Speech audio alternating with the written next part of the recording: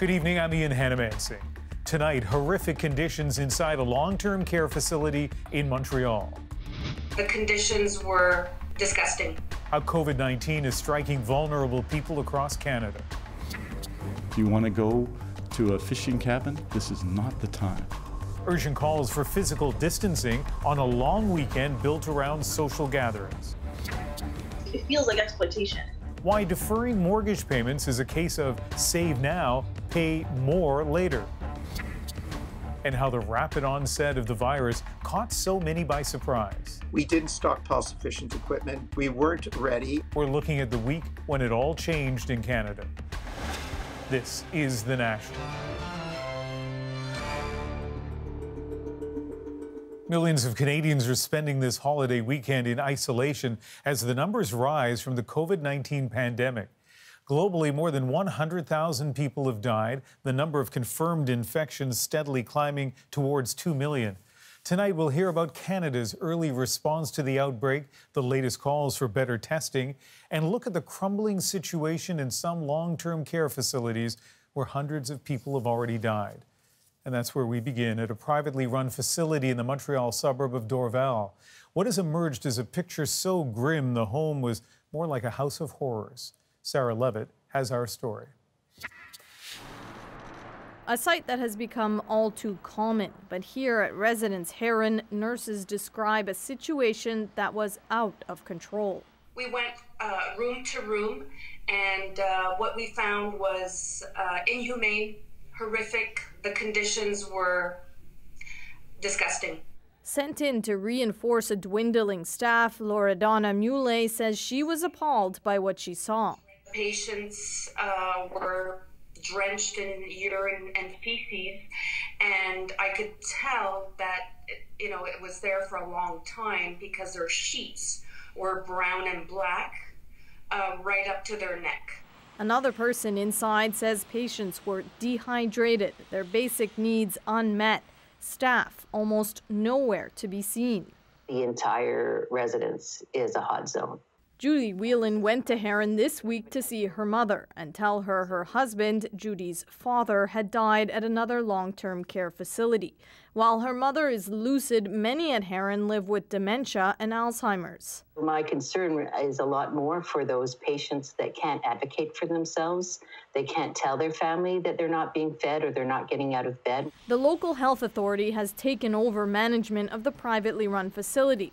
The government says only two deaths were due to COVID 19. But those inside Herron worry that number is surely higher and may include a death this morning. The government is launching an investigation into the facility and its management. I do trust that the uh, CIUSSS has taken charge and is taking care of uh, the people inside the residence. I want to reassure the families. The nurses inside the facility say it seems things have improved. There are more staff and the residents are cleaned up and fed. Now the question is, how could it have gotten as bad as it did? Sarah Levitt, CBC News, Montreal. There's a worsening situation at another kind of facility near Toronto. As COVID 19 sweeps through, much of the staff has left, and that's putting residents in a tough spot. David Common has the details. Yet another facility with the ingredients for a disaster. One in four of the residents here is tested positive. Others show symptoms. Already, the home was short staffed, but with this news, it's suddenly become even shorter. His sister is in there. She's 53 years old, and we read early this morning that um, staff had worked out, walked out last evening, so we're quite concerned. Participation House, as seen in this video from Better Times, is a home for people with disabilities. They share common areas and bathrooms. But yesterday, after the confirmed positives, many workers left. They told staff if anybody felt that they were at risk of exposure, uh, that they could self quarantine. And many of our members took that uh, as permission to, to leave the, the workplace. It all prompted a panic call for assistance. Anyone who could help should come immediately and bring help. Also, they needed personal protective equipment, which was in dangerously low supply. The community, including this MP, heard the calls, dropped off things like gowns, which the home had nearly exhausted. We'll make sure we get proper staff uh, in there supporting the, the residents. The provincial government dispatched its own staff to fill an emergency need. It all underscores the higher risks in densely populated care homes with pre existing staff shortages, exacerbated now by workers who are either infected or fear they've been exposed. For Louise and Earl, another fear that they just don't know. I just don't feel that Ontario is doing enough about testing. Everything I read, everything I see, there's just not enough testing, especially in these types of facilities. Participation House now in lockdown, struggling to keep the virus from spreading further. David Common, CBC News, Markham, Ontario. We're going to look closely at how Ontario is doing its testing in a moment, but first, the situation across the country tonight. 621 people have died as the confirmed case count passes 22,000. Alberta recorded seven deaths today, the highest one day tally yet. In Quebec, 765 new cases and 25 deaths. In Ontario, almost 500 new cases and 10 deaths, and that brings us to the province's struggle to ramp up testing. Ellen Mauro looks at how it's trying to catch up.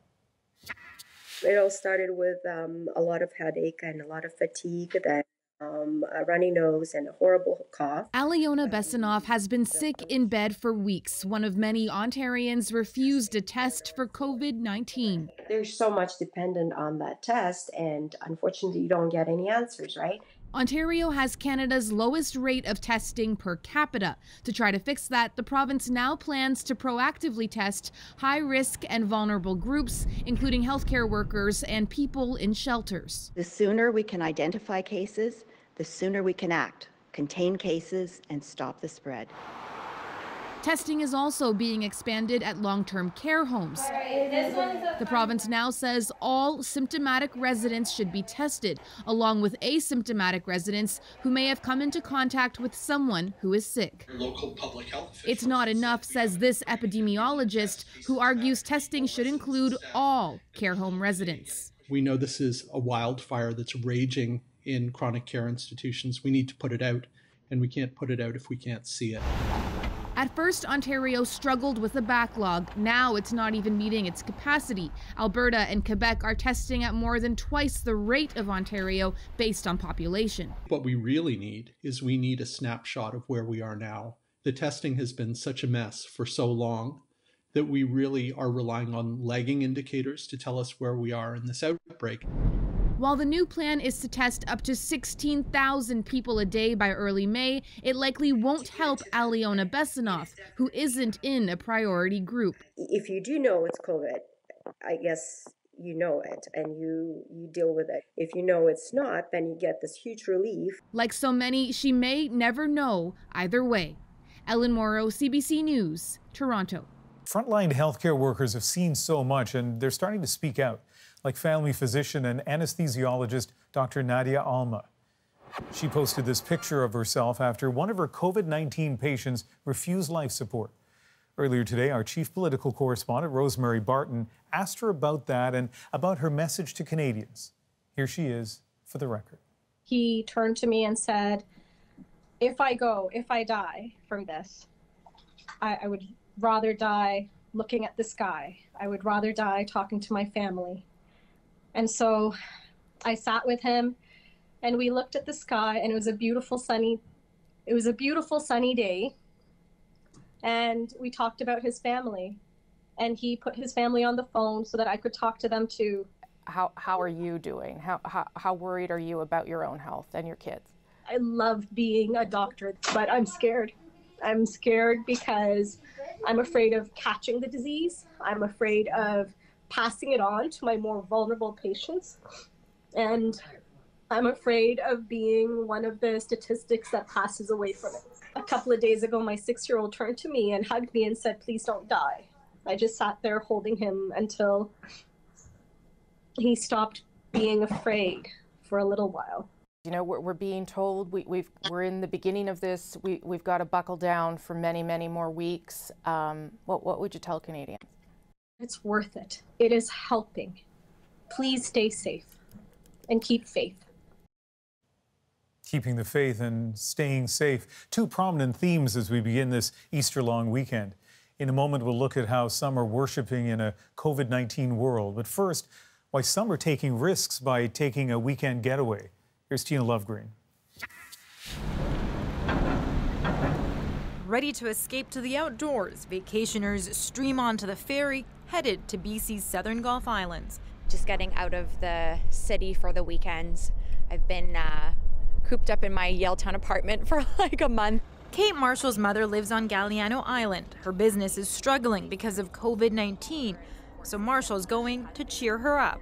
Other than this interaction, um, I'm, I'm not planning to have a lot of interactions with other people as well. Many others in the lineup, at least the ones that would talk to us, say the same thing. We got a property there, two acres, isolated from everybody. So we probably won't see another person the whole weekend we're there. But even then, officials have been begging people not to travel.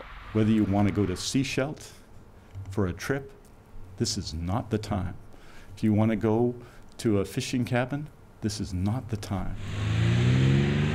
The unwelcome visitors frustrating locals desperate to keep their community safe. It's very frustrating. You sit here in a 15 minute period, you can see dozens and dozens of vehicles going through here that are clearly not locals. Galiano Island resident Jane Wolverton took this video last night, showing the stream of cars rolling onto the island. We have a very limited medical response here. We have a half time doctor and one nurse practitioner. We have no ventilators. In the small tourist town of Tofino, police checkpoints asking people why they're coming in. A small handful of them were second homeowners, and even one car turned around and, and went home, so that was good news. Turning people away, not something places that heavily rely on visitors are used to doing. But for now, they're asking people to stay away. Tina Lovegreen, CBC News, Delta, BC. BC's provincial health officer says that she trusts people to do the right thing, but other cities and provinces are making it clear there could be harsh consequences for those not keeping their distance. And I think it is time, given the importance of this, that it's a life or death matter that people should uh, be given tickets. Toronto's mayor says officers will patrol parks all weekend. Fines of up to $5,000 could be imposed. And that you'd better change the way you've been behaving and you better do it now, or you're going to be lighter in the pocketbook very, very soon. And a stern warning in Manitoba. Individuals face fines of nearly $500, business more than 2,500. Even at the best of times, holidays can intensify feelings of loneliness.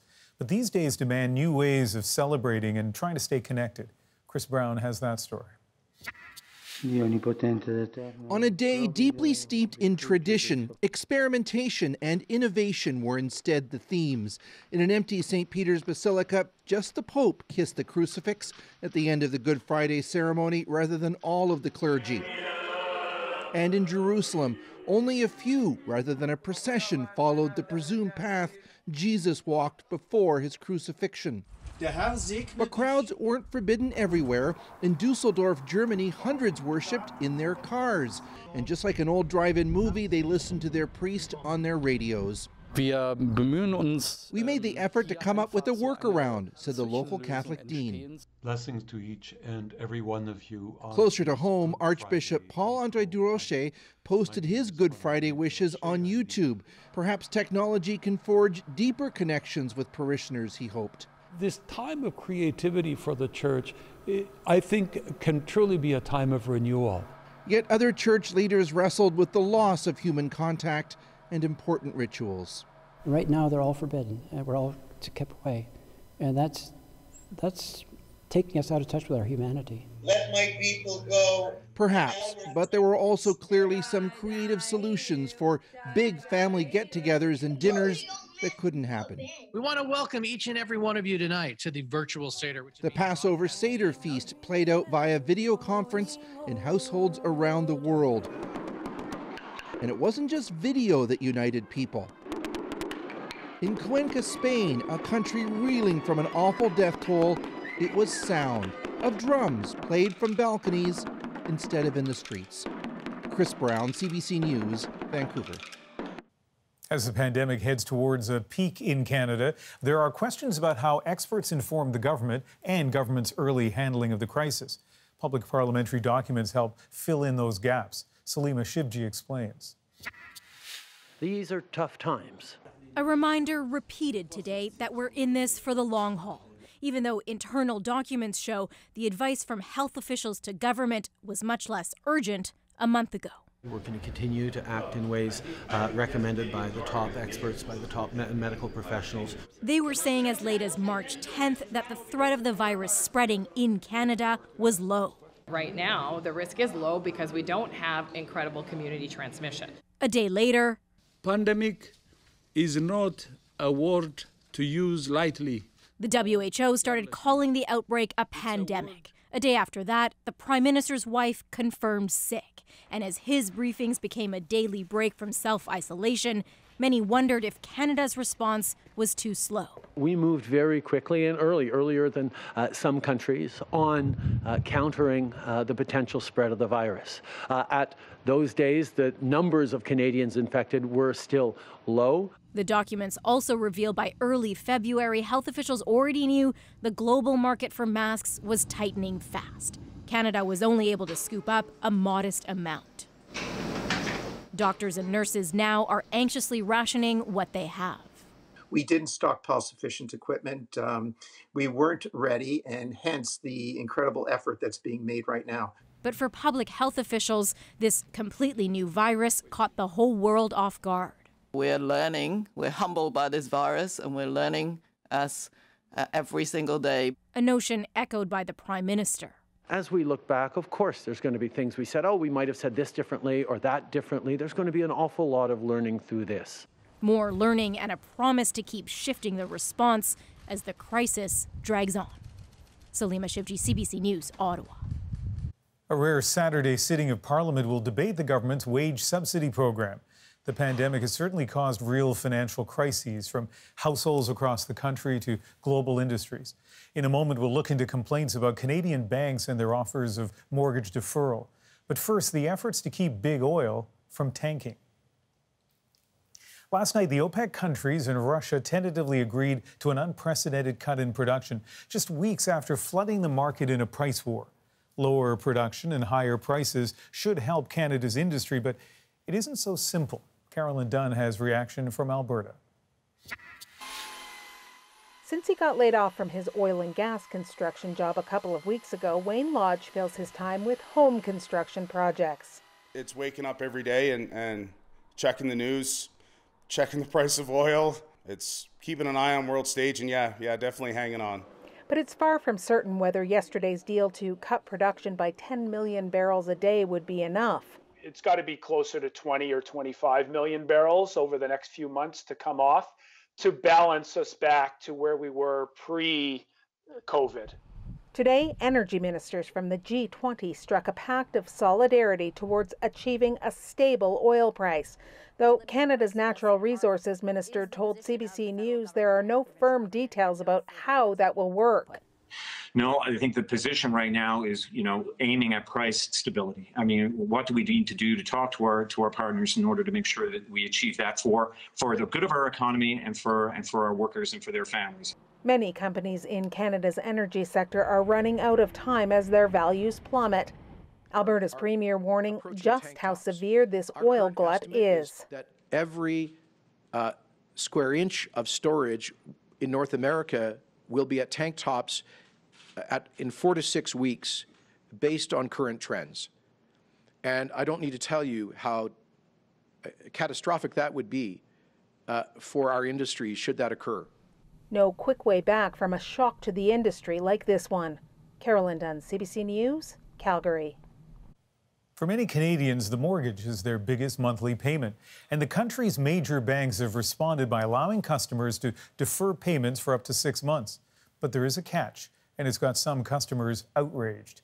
Erica Johnson explains. More than 600,000 Canadians have asked for a mortgage deferral or to skip a payment during these financially trying times, including Amanda Merle and her husband. It gave me some hope. But when she went on CIBC's website to apply, she learned her bank would still be charging interest during the deferral period and then adding that interest to the outstanding principal and charging more interest. In a time when we're already sort of down, it seems it feels like exploitation. For her, a four month deferral translates to an extra $7,400 in interest, erasing almost half the money put towards the principal last year. It feels like you're taking a vulnerable population that are saying, hey, we need help, and you're extending the help, but it's with all these, with this sort of gotcha.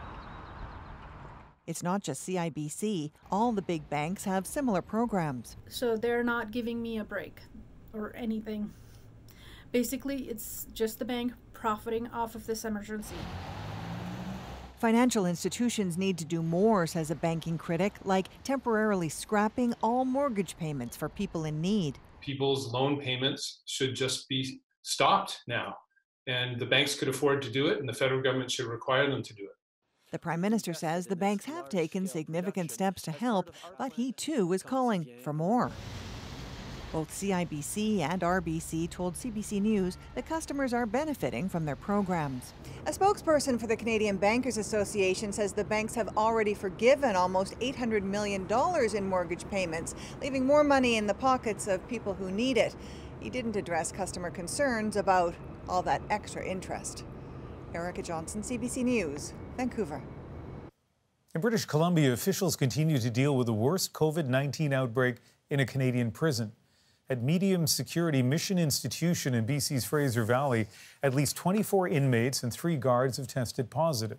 The prison has been locked down as officials wait for the results from 18 other tests. Some welcome news for parents with children in Ontario daycares. The province says it's banning those facilities from charging parents fees during this crisis. This has created some strain on a lot of parents in the province, working people who are, have automatic withdrawals of hundreds or thousands of dollars per month. An emergency order ensures parents will not lose their childcare space because they're not paying fees. The province also says they're still on track to have schools reopen in May. And an additional five employees have tested positive for COVID 19 at Halifax's Northwood Seniors residence, bringing the total to nine. Five residents of the complex have also contracted the virus. The next story isn't about the pandemic. It's about a teen girl shot dead by Winnipeg police after a robbery and high speed chase. Cameron MacIntosh has reaction from the force and the girl's father. A high speed chase, a 16 year old girl dead in south suburban Winnipeg. In this video, you hear police shooting. What's not clear is the altercation that caused the deadly response killing 16 year old Eishia Hudson. Her father says it was unnecessary. Basically, with the, the recording, it looked like it was all wrong. Like, you don't shoot when you have a vehicle already stopped. Police say the girl and four other teens robbed this liquor store, then, using a stolen car, rammed a police car, then a chase ensued. The car, driven by the girl, hit several others before stopping a few kilometers away. It is during this encounter that one of our officers discharged their firearm. Winnipeg's police chief didn't say specifically why the shots were fired. Deadly use of force is appropriate when an officer fears for their own life or the life and safety of others. That's a real general answer. It comes after months of thefts, many by minors in Manitoba's provincial liquor stores.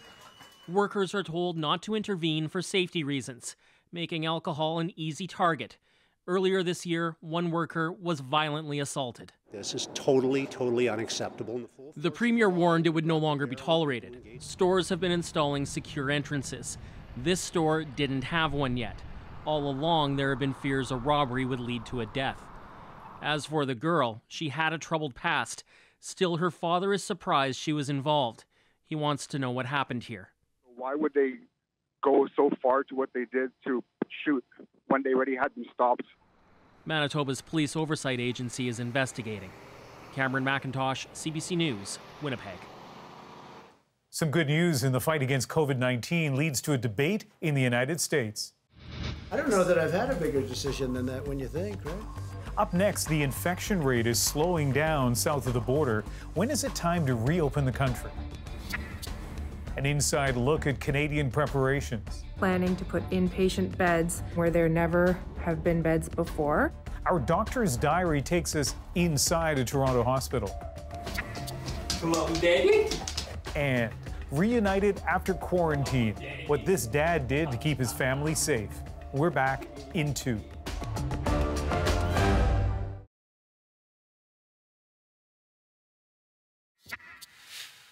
The coronavirus continues to exact its deadly toll in the U.S., especially in New York.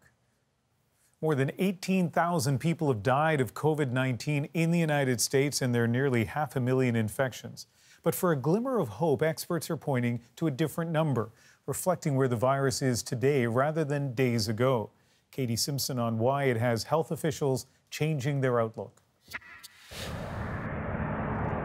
Badly needed help to expand testing in the U.S. is starting to arrive.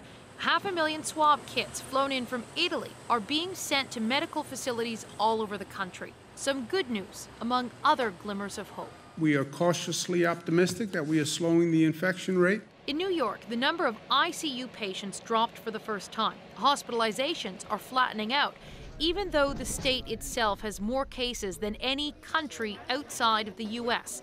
In Chicago, another hot zone, numbers are dropping there too. What we're starting to see is a flattening, and we may not actually get the kind of apex or peak that we've been thinking about. The president says physical distancing is working. So much so, nationwide projection models have shifted. Instead of 100,000 deaths as the best case scenario, it's now closer to 60,000. In the midst of grief and pain, we're seeing clear signs that our aggressive strategy is saving countless lives. But the coronavirus task force warns this does not mean restrictions can be eased. We have not reached the peak.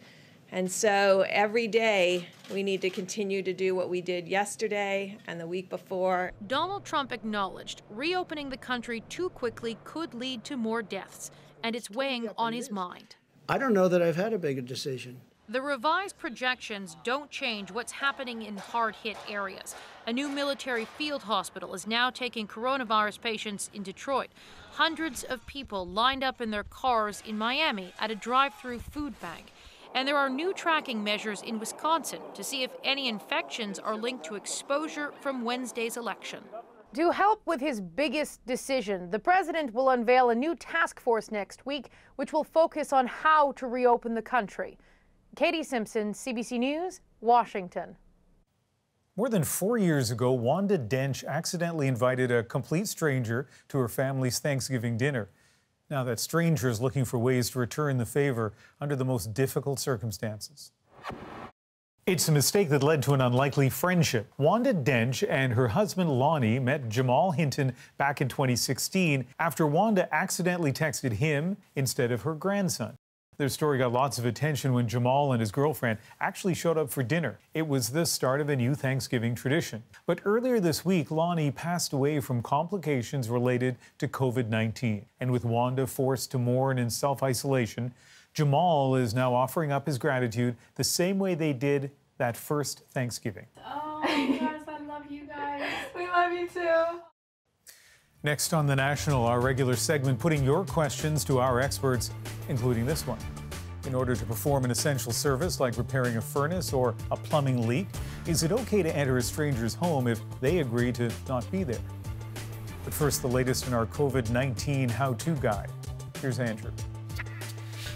Indoors or outdoors? Where are you safer from this coronavirus? Well, it's a bit of a trick question. It's a bit like asking whether a meal tastes better in your kitchen or in your backyard. It sort of misses the point. If we talk about uh, droplet particles, usually those don't float around in the air. They sort of land uh, within a, a, foot or two from, uh, from where they're released from somebody. Translation infected droplets typically fly out and then they land, whether you're inside or outside. So, by far, the more important question you ought to be asking yourself is whether there are other people around. Now, of course, we may see new evidence of potential airborne transmission, particularly in confined spaces, and so the advice could change. And, and yeah, outside there is wind to dry the virus out and more space to spread it. So, you know, maybe technically it might be slightly safer outside, but I think it, it might actually just not be that relevant.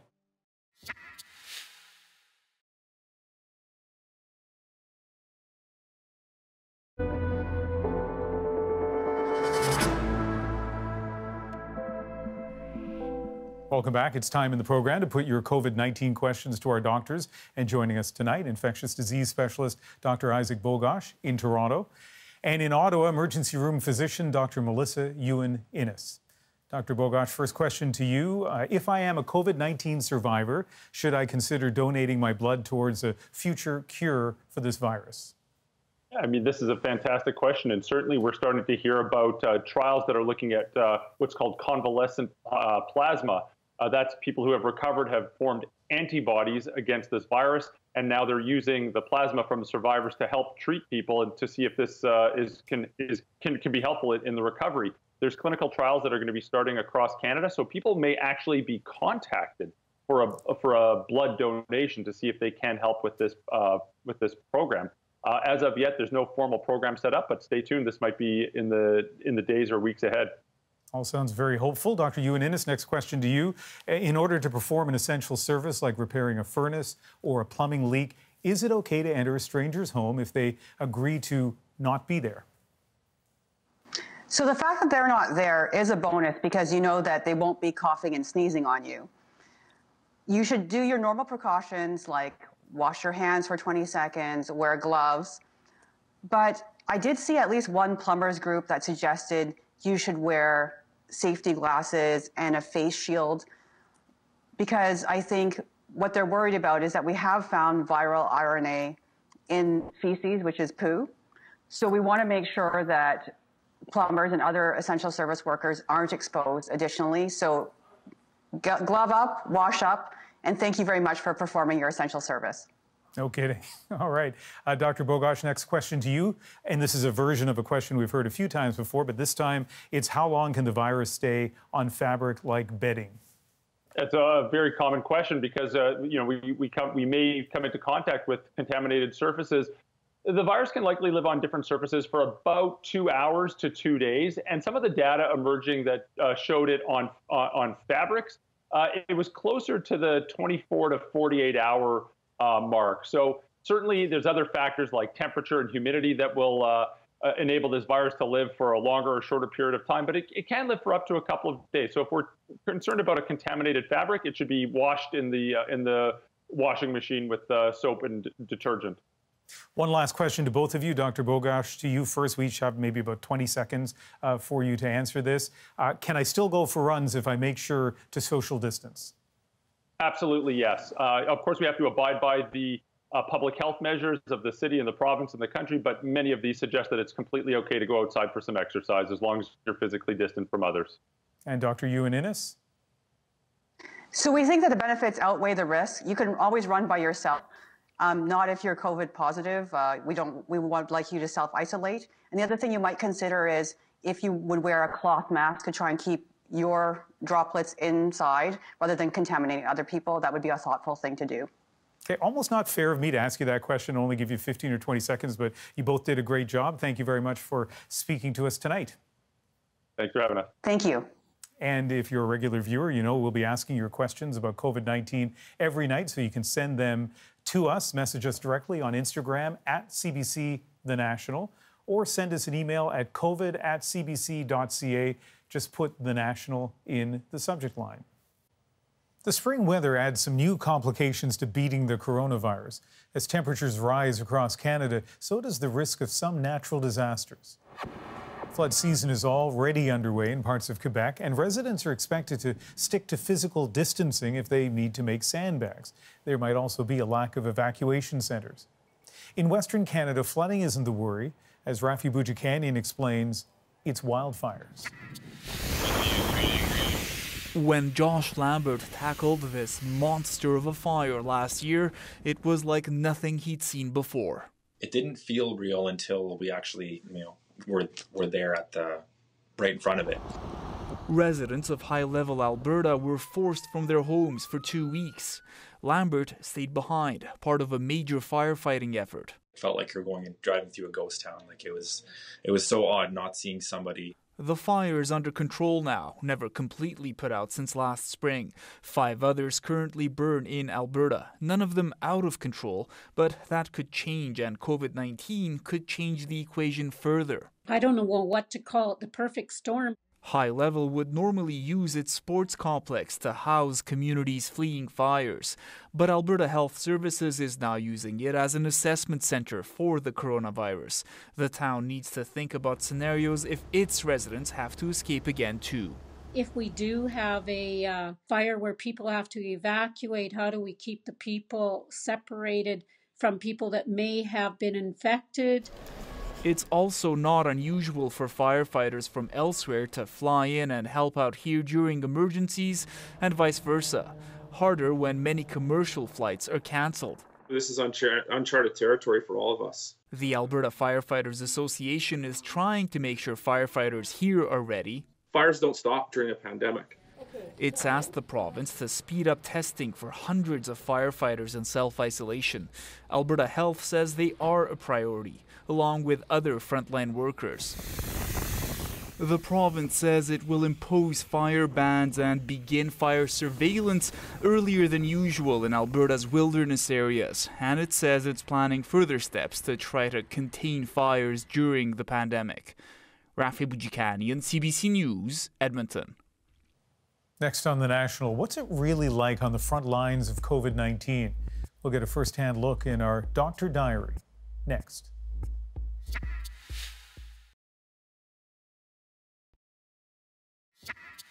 We've heard the cheers for them on the outside. And we've seen their faces, sometimes bruised and certainly tired on the inside, ready to celebrate even the smallest of victories. But what happens in between those moments? We wanted to get a look inside a healthcare facility, so we handed things over to Dr. Danielle Martin. In our first doctor diary, she shows us how one hospital in Toronto is preparing and transforming into a pandemic center. Like many people, I'm trying to avoid taking public transit. I will be taking my summer ride to work. I'm Danielle Martin. I'm a family doctor and chief medical executive at Women's College Hospital in Toronto, and I'm the medical lead for our hospital's COVID 19 pandemic response. Normally, this hospital is a totally outpatient hospital. We don't have any inpatient beds, we have no emergency department. But, like every organization in healthcare right now, we are being stretched to try to think about creative solutions and how we can help with the surge.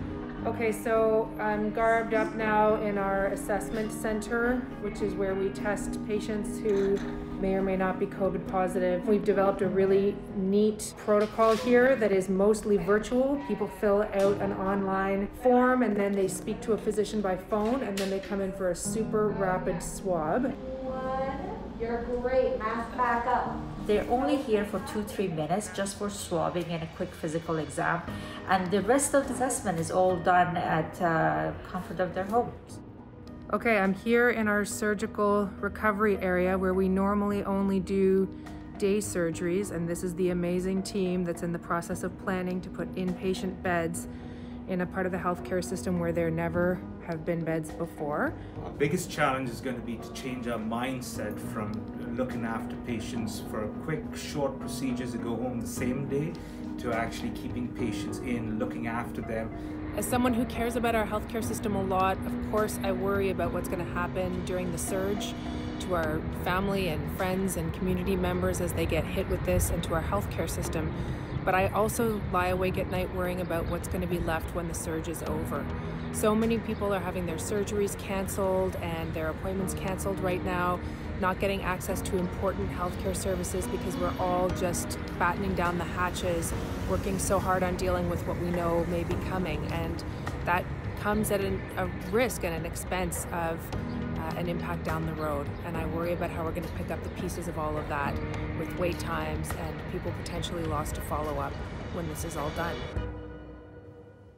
As we know, there have been a lot of changes, so we've been asking Canadians to share what life looks like during this pandemic. Here's tonight's Pandemic Diary. Hi, my name is Ella. I'm seven in grade one. I'm feeling happy and sad at the same time. The happy is I get to play and work. The sad is because I miss my friends. I have a little brother, and sometimes we get bored because we're stuck inside. I like doing ballet online, but it's harder to do it. And it's just confusing.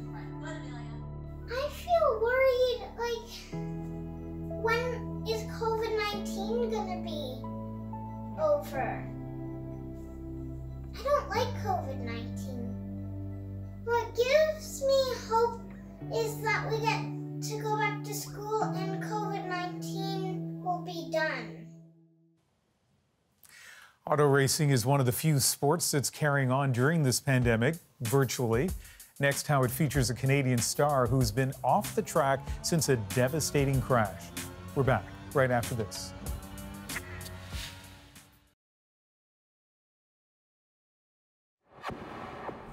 The IndyCar season may be suspended and the Indianapolis 500 postponed until August.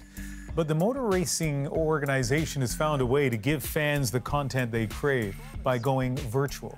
NASCAR's inaugural iRacing event attracted more than 900,000 viewers, making it the most watched televised esports event ever. IndyCar has held its own successful events too, and as Jamie Strachan explains, it featured a remarkable comeback for a Canadian racer.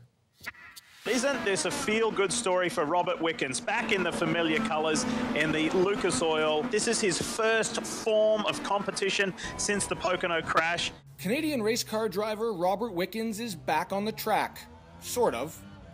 He's actually in his Indianapolis home on a sophisticated simulator. For throttle, I'm using this paddle here. He's competing against the best drivers in the world, the same ones he used to race against all part of IndyCar's virtual racing series. It's kind of like a, a, surreal experience, you know? For me, this is really step one to, to get back in, into the race car. It was Wickens' first taste of competition since a horrific crash nearly two years ago that left him partially paralyzed and lucky to be alive. His goal has always been to race again. When CBC caught up with him last November, he was relearning how to walk it's a grueling rehab process that continues to this day. This is a major step in Robert Wickens getting back to full-time racing. Minus the smell of burning rubber, it's a genuine race experience requiring physical stamina and laser focus. If anyone who's played a racing game at home or in an arcade, or if you've gone to one of those facilities where you can try a real racing simulator, going an hour without crashing on a simulator is very, very hard. With all sports shut down because of coronavirus, this advanced simulated racing has allowed IndyCar to stay relevant, keeping a fresh product on television. Winning here requires the same abilities that drivers need in a real race car. Using your thumbs to move a soccer ball around is nothing like playing real soccer. It's a different skill set. So that's really what makes auto racing and iRacing unique is that it, it really is the same skill sets. For Robert Wickens, it's a chance to show that despite all he's been through, he can still go fast. It was just, it was very rewarding to cross the finish line. Wickens started this race dead last in 29th position. He finished 8th. Jamie Strachan, CBC News, Toronto. Next on The National, a post quarantine reunion and a belated birthday celebration. The sweet moment and the lengths one dad went to to make sure his family stayed safe.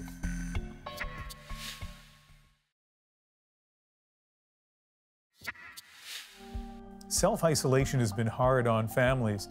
And the man in this photo, Blaine Tucker, had to watch his daughter celebrate her first birthday from that window outside their family home.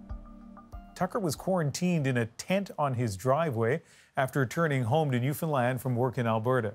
Their family reunion is our moment. Come on, Daddy. Come on, Daddy. When I came in, uh, she looked at me and she turned her head and then she looked again and was like, Daddy's inside. And when she actually realized I was there with her, that's when she started to get excited. She started to jump around. But when I picked her up, that's when she realized that Daddy was back in the house. And uh, it was very emotional for me Aww. You know, once he was in here and to see Ella Rose's reaction, it was, it was all worth it for sure. Hi, baby. But now we are where we are. I survived, and uh, I would do it again if I had to. So he coughed there, but he's not sick, didn't have any symptoms during those 14 days. If you ever had a one year old, and I did a long, long time ago, I can't imagine being out there on the driveway in a tent for 14 days, knowing your kid's inside. But obviously, the payoff, a healthy family, was uh, what motivated him. That is the National for Friday, April the 10th. Good night.